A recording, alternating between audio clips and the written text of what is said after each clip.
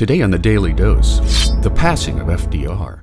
Serving an unprecedented four terms in office, President Franklin Delano Roosevelt had guided the American nation through the darkest days of the Great Depression, as well as through the majority of World War II.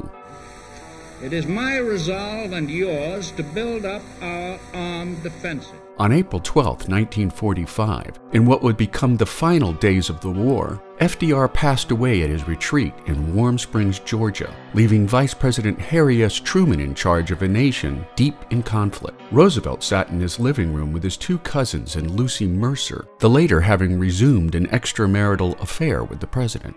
While artist Elizabeth Shoumatoff painted his portrait, at 1 p.m., the president suddenly complained of a terrific pain in the back of his head, collapsing moments later into an unconscious heap, the victim of a massive cerebral aneurysm. Back at the White House, after Eleanor Roosevelt was given the news, she met with Vice President Truman, who had not yet been told. A calm and collected Eleanor said, Harry, the president is dead, to which he replied, Is there anything I can do for you? Eleanor replied, Harry, is there anything we can do for you? For you are the one in trouble now. Overseas, American servicemen and women were made numb by the news, for the majority of the young fighters had known no other president for the entirety of their lives. As FDR's funeral train rolled across the southern countryside, people thronged for a last farewell to their wartime president.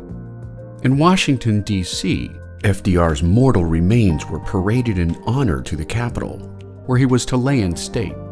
After the formal national ceremonies were over, he was buried in his hometown of Hyde Park, New York.